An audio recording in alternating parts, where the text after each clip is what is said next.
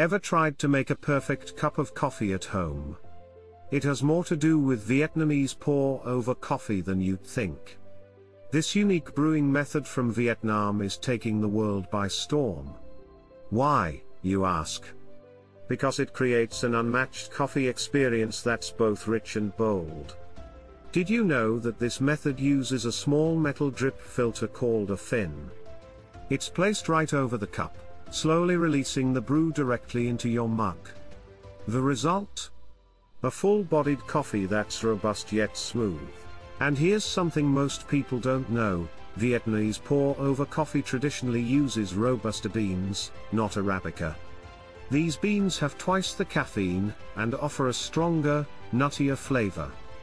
Go to www.beanmastery.com to learn more about this delicious and unique brewing method.